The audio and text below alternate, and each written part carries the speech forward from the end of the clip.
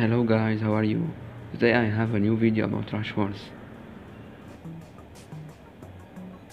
Okay, I have a squad, it's good. Um, I have the defenders that I put them in the beginning, then I put laser, then bazooka. Then in the another side, I put the uh, troopers and pitcher. So under here is for uh, laser and bazooka.